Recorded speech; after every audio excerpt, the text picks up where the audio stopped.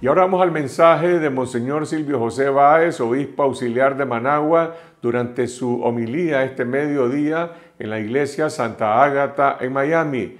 El obispo Báez, quien se encuentra en un exilio forzado desde abril de 2019, condenó la persecución contra la iglesia católica y demandó la libertad de Monseñor Rolando Álvarez y de las otras 10 personas, sacerdotes y laicos, que se encuentran secuestrados por la policía en la Casa Cural de Matagalpa.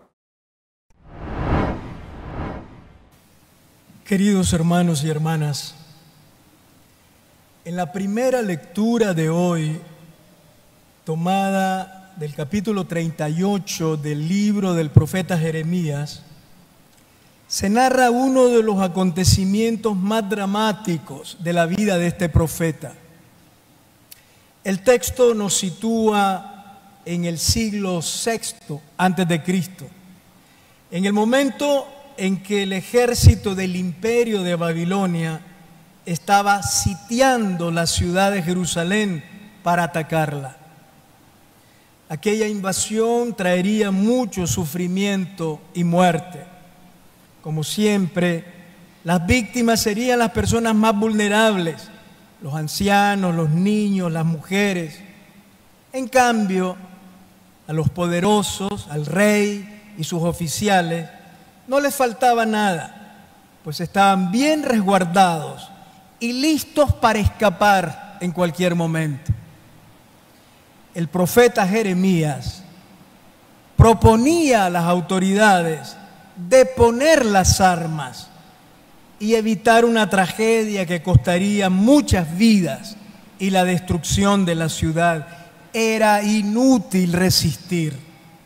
Jeremías les decía, como escuchamos en la primera lectura, el que se entregue a los babilonios sobrevivirá, tendrá su vida como recompensa y vivirá. Jeremías no era un desertor ni un colaboracionista de los invasores. Amaba a su pueblo y a su ciudad de Jerusalén. No hubiera querido nunca que fuera destruida, ni estaba de parte del ejército invasor, pero no quería que hubiese más sufrimiento y muerte. El profeta sabía que no había posibilidades de sobrevivir e invitaba a aceptar la marcha de la historia en aquel momento como se estaba presentando, confiando en que aquella dolorosa situación entraba en los planes de Dios. Decía Jeremías, así dice el Señor, esta ciudad será entregada con toda seguridad en manos del rey de Babilonia y éste se apoderará de ella. Jeremías no, no actuaba como estratega militar, ni estaba movido por ningún interés político, movido por Dios. El profeta solo pensaba en el bien del pueblo, sobre todo en los más pobres del país. A Jeremías lo que le interesaba era la vida de la gente y por eso abogaba por una salida pacífica ante la invasión extranjera. La posición de Jeremías resultaba inaceptable para quienes tenían el poder y estaban buscando alianzas con Egipto y Babilonia para afianzarse aún más en la monarquía. Al rey a los militares y a los altos funcionarios de la monarquía en Judá, les convenía la guerra. Terrible que llegue a convenir la guerra en algún momento, y por varios motivos.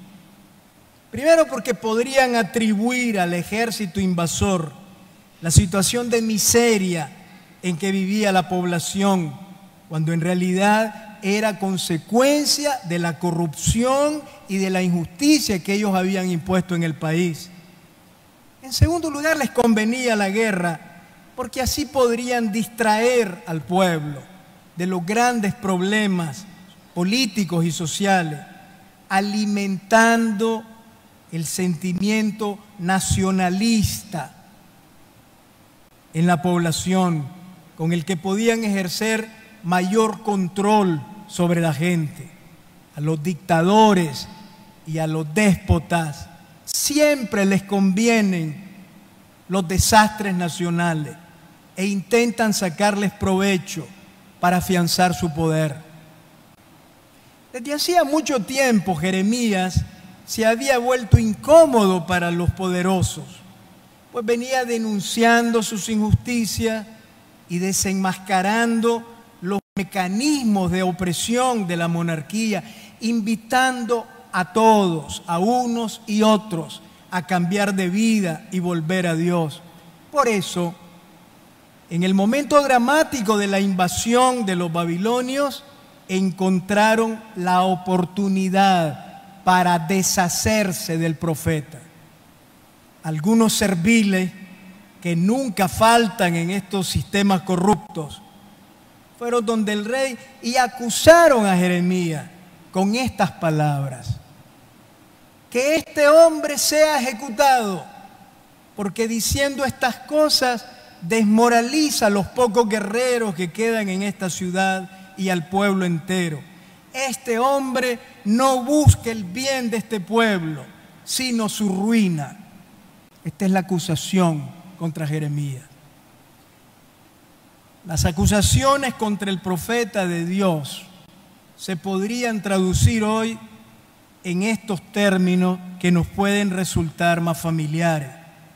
Podrían haber dicho, Jeremías organiza grupos violentos, incitándolos a ejecutar actos de odio en contra de la población, provocando un ambiente de zozobra y desorden, alterando la paz y la armonía en la comunidad. Todas acusaciones falsas y ridículas. Jeremías nunca fue violento ni predicó la violencia y fue acusado de subversivo. Jeremías amaba profundamente su ciudad de Jerusalén, apasionadamente, y fue acusado de ser agente del imperio y traidor a la patria. Jeremías predicaba la consolación y la esperanza para su pueblo y fue acusado de cometer crímenes de odio el rey de Judá y su funcionario decidieron arrojar al profeta Jeremías en un pozo que existía en el patio de la guardia del palacio real. Dice el texto que lo bajaron con ayuda de cuerdas. En la fosa no había agua, sino lodo, fango, y Jeremías se fue hundiendo en el fondo de aquel pozo lleno de lodo. Querían acabar con el profeta después de acusarlo con calumnias. Querían apagar de una vez aquella palabra incómoda que los acusaba continuamente. Así son los poderes tiránicos, los de ayer y los de hoy, con tal de mantener el sistema de opresión que han impuesto conservar sus privilegios, aumentar su riqueza y seguir sometiendo al pueblo, acusan con mentiras, levantan calumnia y procesan injustamente. Esto de eliminar a los profetas es algo muy antiguo. Lo practican siempre los sistemas injustos, intolerantes y violentos. Antiguamente echaban a los profetas en cisternas llenas de lodo, como le ocurrió a Jeremías, o los expulsaban del país, obligándolos al exilio, como pasó con el profeta Amós, o los encarcelaban y les cortaban la cabeza, como Juan Bautista, o intentaban despeñarlo desde lo alto de un monte, como a Jesús, a quien después condenaron a morir en una cruz. Esta es la historia de los profetas. Hoy, esos mismos sistemas siniestros, injustos y criminales, que no soportan la verdad y que no están dispuestos a escuchar a Dios, aunque se llenen la boca mencionándolo. Calumnian y agreden a los profetas. Les levantan falsas acusaciones y ofenden y denigran a la iglesia. Los tiranos no soportan la palabra profética que pone al descubierto su maldad y sus crímenes. Los poderosos de hoy también temen a los profetas. Los poderosos de hoy temen a una iglesia profética y quisieran ver a una iglesia encerrada en la sacristía, con la boca cerrada y ojalá doblegada de rodillas ante ellos. Al no lograrlo, se llenan de rabia, con discursos agresivos, con los cuales no hacen más que mostrar su propia debilidad y la oscuridad de su conciencia. Pero todo es inútil y la historia se los mostrará un día. No nos dejemos intimidar. La palabra de Dios, como dice la segunda carta a Timoteo, la palabra de Dios no está encadenada, ni puede ser encadenada. Nada, ni nadie puede acallar la voz de Dios que resuena en la humilde voz de los hombres y mujeres que Él ha elegido para hablar en su nombre, los profetas. Jeremías no se hundió en el fango del pozo. Un oficial del rey llamado Ebed-Melech se conmovió, lo vio, intercedió por él y le salvó la vida. Siempre hay gente justa y buena incluso dentro de los sistemas más corruptos y violentos. Y ojalá tengan el valor de vivir su justicia y su bondad a cara descubierta y no ser víctima de estos sistemas. En la oscuridad del pozo, Jeremías, entre la vida y la muerte, seguramente escuchó que Dios le susurraba al corazón unas palabras que él había oído al inicio de su ministerio. No tengas miedo, yo estoy contigo para salvarte. Porque Dios nunca abandona a sus profetas. Que no olviden esto los criminales que quieren acabar con ellos. Dios no abandona a sus profetas. Dios no abandona ni a sus profetas ni a su pueblo. Y por eso el profeta, apresado, denigrado, encarcelado, torturado, exiliado, no se calla. Aunque esté hundiéndose en un pozo lleno de lodo, aunque esté siendo acusado injustamente o agredido por fuerzas tenebrosas y violentas, el profeta sigue llevando consuelo, ofreciendo perdón, dando esperanza y también denunciando toda injusticia que atente contra los seres humanos, pues el verdadero profeta no tiene miedo, porque no debe rendir cuentas a ningún amo más que a Dios, y no tiene otros intereses en su corazón más que los de Dios. Pero Dios tampoco abandona a su pueblo. Por eso el pueblo no debe perder la esperanza jamás. No lo olvidemos, la última palabra en la historia nunca la tienen los tiranos. La historia la deciden los pueblos.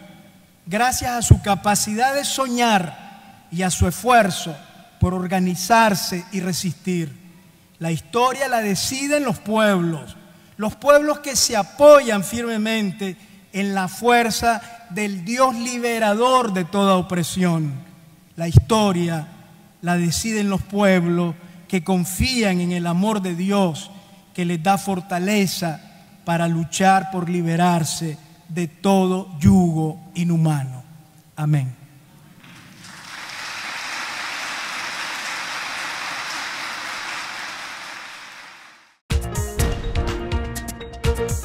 Gracias por ver este video y si aún no lo has hecho, suscríbete a nuestro canal en YouTube. Activar las notificaciones para recibir las noticias del momento sobre Nicaragua. Tu respaldo a Confidencial es imprescindible para seguir informando y para ganar la batalla de la verdad.